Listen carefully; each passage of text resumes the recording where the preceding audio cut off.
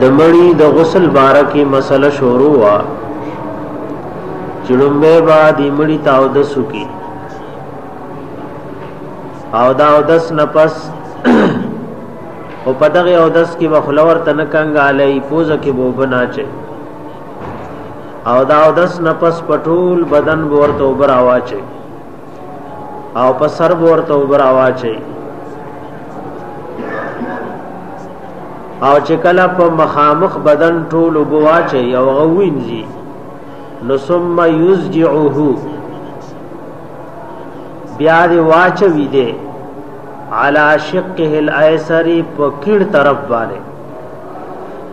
په دې ګس طرف دی واچي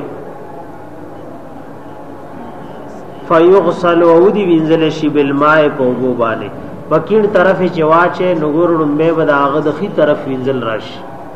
او د خي طرف نه شروع کول سنت طریقه ده نوخه طرف به خبر آور د شاد املا سره وینځي او هغه پرده ور سره پداسي طریقې تاوي را تاوي چې دا عورت ښکار نشي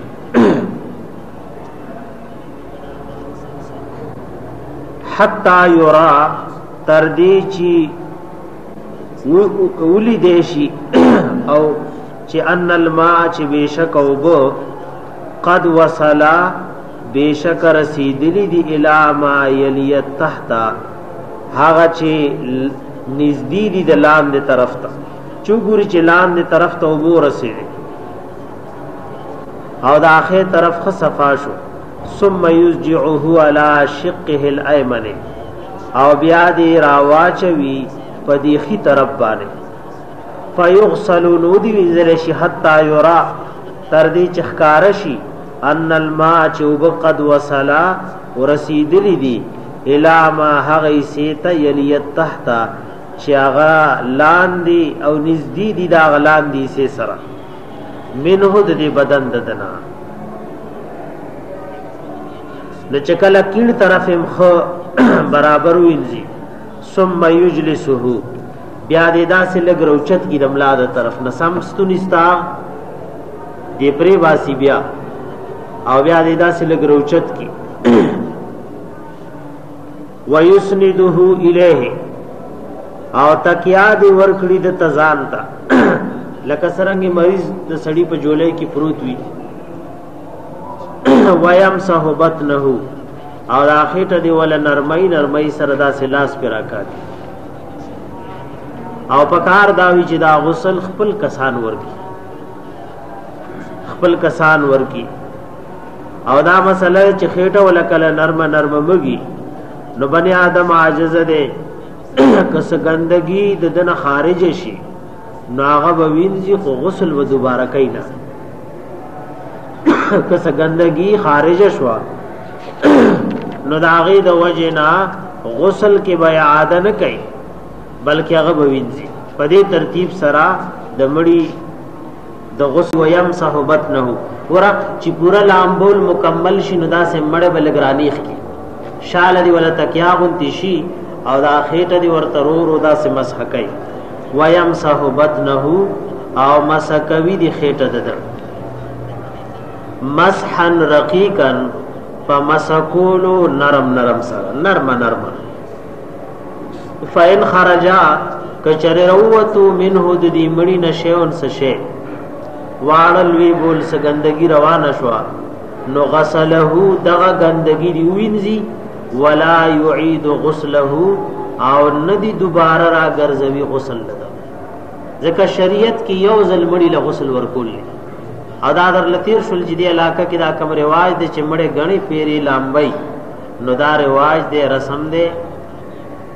نو پر رواج او رسم سړی ګناهګاری بس یو ځل مړی ته غسل ورکول تر دې کدا غنا یعنی د غسل نفس بیام سپلیتیوزی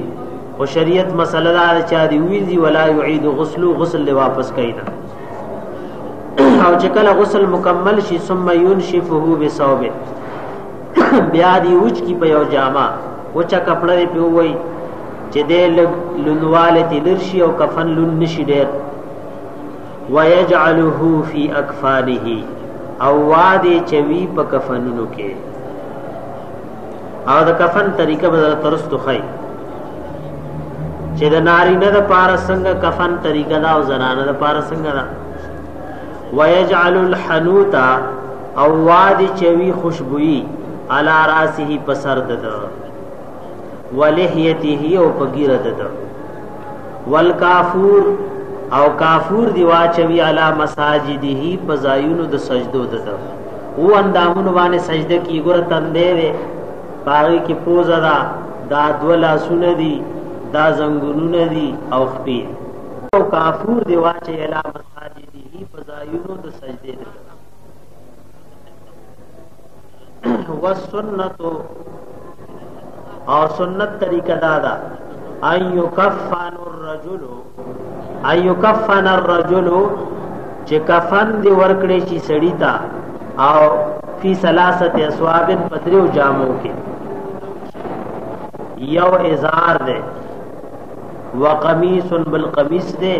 ولفافت او بل لفافه دا قمیص هغه وی چې هغه ګوره د دې وګون راواله نو تر دې د ګوډو نکته پوری وی چې پاغه کې ټول عورت تقریبا پټ شي د نارینه د پاره قمیص بداسي وی چې هغه د دې اوبو نه راواله د کته ګوډو پوری وي او بیا د هغې په مقابله کې هغه دویم صادر چې وي آب لږ کم وي د هغې د پاسه هغه بل به یو څو سپکه د هغې د سیوا وي دا مسنون کفن دی چې د نارینه لپاره درې حصې دي او که ضرورت وي نو دوم کافی کیږي او کله د ضرورت په بنا باندې په یو صادر کې صحابه کرام چې شهیدان شوی د څه شوی دفن کړي شي او کفن طریقه به ان شاء الله بیا سبا سړی مش سره زده کی نو خوي ځنه اوقاتو کې بیا سړی له تکلیف وي او دا خبرې شون کې ټول مخې لرا روان دي نو ان شاء الله صفا سبا د کفن طریقه به درته وخه اوس خدا آسان شو چې زه دکانونو کې تیار کفن ملاوي په خوا چې به جوړولو نه کې به پوره مشکلات ورته بیا